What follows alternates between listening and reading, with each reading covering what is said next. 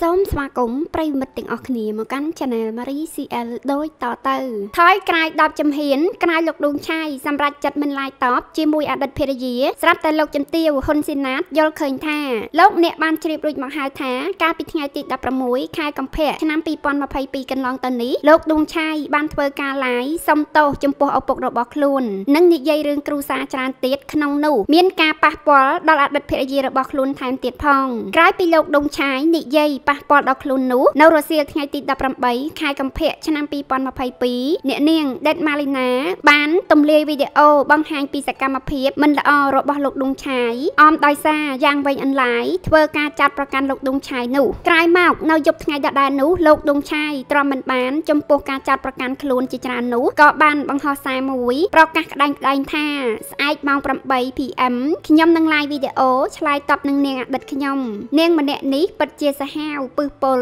ជាទីបំផុតបន្ទាប់ពីការបង្ហោះនេះមិនយូរប៉ុន្មាននៅយប់ថ្ងៃដដែលនោះលោកផាញ់វណ្ណៈបង្ហោះរូបភាពមួយសន្លឹកហើយដាក់ខប់សិនថាប្រទេសមានច្បាប់គ្រូសាមានវិន័យខុសត្រូវអីអាញាធរឬស្ថាប័នច្បាប់ដោះស្រាយអាងអីឡាយ Facebook Facebook Facebook នឹងចៅក្រមកាត់ក្តីមែនត្រង់សំណួរនេះលោកមិនបានបញ្ជាក់ថាសំដៅទៅឲ្យអ្នកណាឡើយលុះបន្តិចក្រោយមកស្រាប់តែលោកបង្ហោះពៀនមួយរួចដាក់ចំចំឈ្មោះលោកដួងឆាយថាពៀនរង្វាន់ Facebook ទុកឲ្យលោកដួងឆាយដែលមានស្នាដៃក្នុងការឡាយសូអំពីចំនួនគ្រូសាតភៈវែងអនឡាញជាងគេប្រចាំព្រះរាជាណាចក្រកម្ពុជាក្រោយមកទៀតនៅរសៀលថ្ងៃទី19ខែកុម្ភៈឆ្នាំ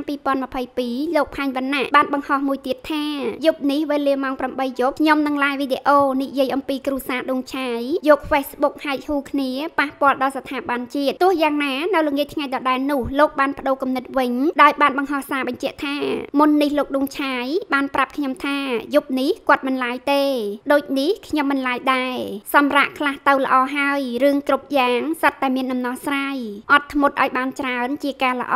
និយាយច្រើនក្នុងកលៈទេសៈនេះហានិភ័យខ្ពស់ណាស់បានដាប់ចាស់ទុំខ្លះទៅងាកមកលោកដួងឆាយក៏បានបង្ហោះសារនៅលើเพจរបស់ខ្លួននៅយប់ថ្ងៃដដែលថាខ្ញុំសម្រេចចិត្តថាខ្ញុំនឹងមិនឡាយតបជាមួយនាងទេពេលវេលានឹងបកស្រាយអ្វីៗគ្រប់យ៉ាងបន្តទៀតចរិតនាង មីយាស្ត្រីពោពេញដោយល្បិចកិច្ចកលដុតបញ្ឆេះខ្ញុំមិនឲ្យខ្ញុំជួបកូនកូនខ្ញុំតាមសារក្រមថ្មីរបស់តុលាការរួចថតយកចំណុចខ្សោយរបស់ខ្ញុំមកបង្ហោះសូម3ថ្ងៃនេះព្យាយាមមិនឲ្យកូនកូនខ្ញុំជួបខ្ញុំទៀតការពិតមាននៅលើពិភពលោកនេះសូមទោសនិងសូមអរគុណពូមីងបងប្អូនទាំងអស់គ្នា ដែលបានធ្វើឲ្យអ្នកទាំងអស់គ្នាខកបំណងមិនសប្បាយចិត្តប៉ះពាល់អារម្មណ៍ដោយសាររូបខ្ញុំម្ដងហើយម្ដងទៀតគោរពស្រឡាញ់ដួងឆាយដោយឃើញបែបនេះលោកចំទាហ៊ុនស៊ីណាតនៅថ្ងៃទី20ខែកុម្ភៈឆ្នាំ